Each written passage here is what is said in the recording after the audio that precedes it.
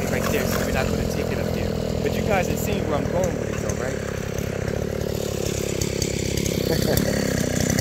lift. Straight lift.